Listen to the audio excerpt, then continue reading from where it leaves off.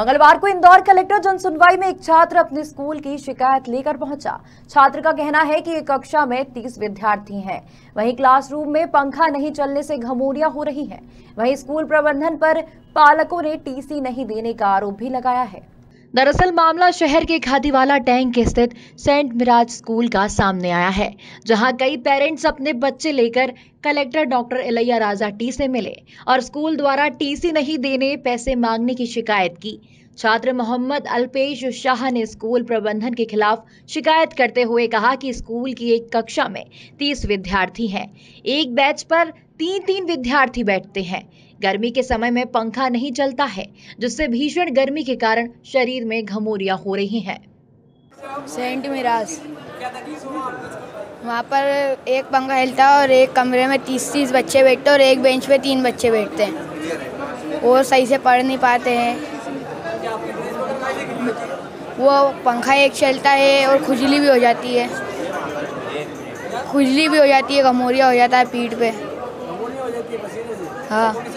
हाँ। आपने शिकायत करी होगी प्रिंसिपल से तो कुछ बोले? क्या बोलते हैं मैम बोलती है कि अभी बाद में करना अभी पढ़ाई करो आप पढ़ाई में ध्यान रखो। मतलब हवा पानी की कोई व्यवस्था नहीं है वहाँ पर? नहीं। पढ़ाई कैसी है वहाँ? अच्छी नहीं है। कैसे अच्छी नहीं मतलब क्या बताते हैं? सारे पीरियड फ्री आते हैं एक दो बस एक दो पीरियड पढ़ाते हैं। पढ़ाई भी अच्छी नहीं है? हाँ। आप क्या चाहते हैं? आप स्कूल छोड़ना चाहते हैं? हाँ। आपका नाम? मोहम्मद अल्फिश शाह। मोहम्मद अल्पेश शाहर के पिता ने स्कूल प्रबंधन के खिलाफ शिकायत की। पिता का कहना है कि जब हम स्कूल बदलने के लिए प्रबंधन से टीसी मांगने गए तो वह कई दिनों तक आनाकानी करते रहे। बच्चा रोज़ाना स्कूल जाता है और गर्मी में परेशान होता है। स्कूल में ना तो पढ़ाई ठीक से हो रही है, ना ही प्रबंधन किसी प्रकार से स्कूल पर ध्यान देता है। सर, पढ़ाई समझ में नहीं आई है और बच्चों को बहुत ज़्यादा परेशानी होती है वहाँ पर। मेरे बच्चे की टीसी मांगने गया तो टीसी के लिए आनाकानी कर रहे हैं। कि आज देंगे कल देंगे फ़ीस नए सेशन की फ़ीस जमा करो। हाँ वहाँ पे सपोकेशन नहीं है बच्चों को बहुत ज़्यादा दम घुटता है और एक एक क्लास में दस दस बीस बीस बच्चे ठूस देते हैं। और बच्चों के बदन पे चट्टे पड़ जाते हैं घमोरियाँ हो जाती हैं। हाँ, बहुत दिक्कत आती है वहाँ हवा पानी की प्लेग्राउंड नहीं है। एक ही हॉल में सारी एक्टिविटीज़ होती है। कौन सा स्कूल है? सेंट मिराज खाती वाला टैंक महाकाल स्क्वायर क्या नाम है प्रिंसिपल का मालिक का हाँ, शेफाली राजानी। जी वहाँ शिकायत अभी सर से की है मैंने कलेक्टर साहब से। स्कूल में कई बार गया मैं टीसी के लिए पर मुझे जवाब यही मिलता है कि आप अगले महीने आना पंद्रह दिन बाद आना। फ़ीस की रसीद में मैंने पेश करी है सर को कि फ़ीस कोई ड्यू नहीं है। मार्च में मैंने फ़ीस दे दी है। मेरे तीन बच्चे हैं। आ, दो यूकेजी में हैं और एक एट्थ में। अब आप क्या चाहते हैं मैं? तो टीसी चाहता हूँ सर कि मैं मेरे बच्चों को अच्छा भविष्य दे सकूँ। स्कूल प्रिंसिपल का एक्शन चाहते हैं क्या? स्कूल कार्रवाई चाहता हूँ सर कि इतनी दिक्कत मुझे हुई है काम धंधा छोड़ के जाना पड़ता है।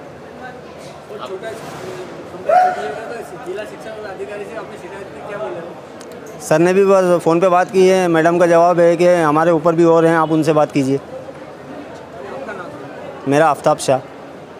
इस मामले में जिला शिक्षा अधिकारी मंगलेश व्यास ने कहा कि ऐसा कोई नियम नहीं है। स्कूलों में किसी बच्चे की टीसी रोकी जाए। अगर ऐसा है तो हम जाँच करवाते हैं।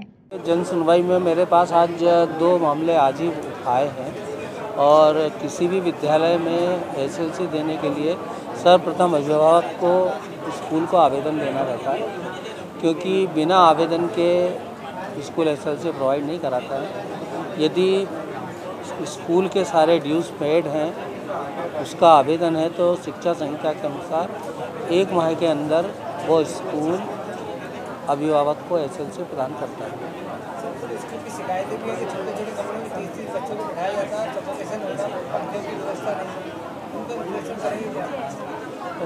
जो हमारा ब्लॉक एलिमेंट्री एजुकेशन ऑफिसर है वो स्कूलों के सतत निरीक्षण करते हैं और उन्हीं की अनुशंसा के आधार पर स्कूल की मान्यता दी जाती है। यदि किसी पर्टिकुलर स्कूल की ऐसी शिकायत आती है तो हम दोबारा उस स्कूल का निरीक्षण कराएँगे। और मान्यता शर्तों के यदि विपरीत है तो स्कूल की मान्यता समाप्ति किए जाने की कार्रवाई प्रस्तावित करेंगे सामान्यतः शहरी क्षेत्र में संचालित विद्यालयों के लिए बहुत बड़े प्लेग्राउंड की आवश्यकता नहीं रहती है। जितने बच्चे इनरोल्ड हैं, वो खड़े रहकर प्रार्थना कर सकें और कबड्डी खो खो आदि खेल खेल सकें, इतने मैदान की आवश्यकता है। मंगलेश कुमार व्यास, जिला शिक्षा अधिकारी, इंदौर। आपको बताना चाहेंगे कि मध्य प्रदेश में शिक्षा माफिया हावी है। हाल ही में सिर्फ़ जिला शिक्षा अधिकारी द्वारा एक पेरेंट्स को दिए गए बयान पर हंगामा मचा था। एक बार फिर कलेक्टर जनसुनवाई में निजी स्कूल की मनमानी और शिक्षा माफिया के खिलाफ शिकायत लेकर कई पालक अपने बच्चे सहित पहुँचे और कलेक्टर से शिकायत की है। फ़िलहाल देखना होगा कि स्कूल प्रबंधन के खिलाफ प्रशासन क्या एक्शन लेता है। इंदौर से नीरज बोरासी की रिपोर्ट।